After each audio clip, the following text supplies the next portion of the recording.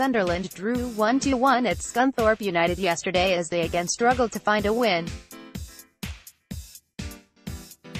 The Black Cats have now drawn more games, 11, than any other team in the league this season. Such recent form has seen the likes of Charlton Athletic and Barnsley catch up with Sunderland whilst Luton Town and Portsmouth remain out in front, despite the latter's recent dip. There were plenty of good and bad performances from Sunderland yesterday. However, the one many were most keen to observe was that of Jimmy Dunne. Sunderland, England, January 9. Photo by Ian Horrocks, Sunderland AFC via Getty Images. Sunderland snapped up the Burnley centre-back on loan last week after he spent an impressive first half of the season on loan at Scottish side Hearts. Based on this display, Sunderland made a good choice. Coming in for Jack Baldwin, who had been suffering from illness this week, the imperious-looking Dunne put in a decent display. The central defender cuts an imposing figure on the pitch and was brilliant in aerial duels and not afraid to get stuck into a tackle.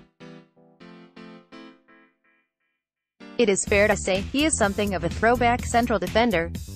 Overall, it was a decent debut for the player and most Sunderland fans will be pleased by what they saw.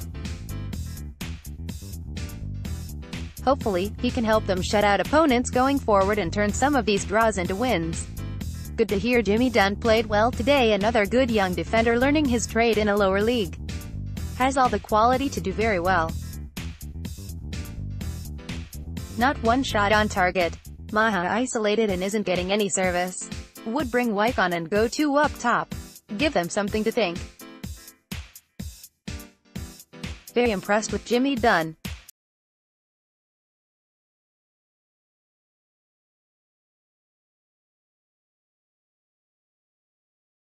0-0, Stuart Rayner, at Strainer, January 19, 2019 Decent start from Phil Smith, at Phil underscore underscore Smith, January 19, 2019 Jimmy Dunne Masterclass incoming.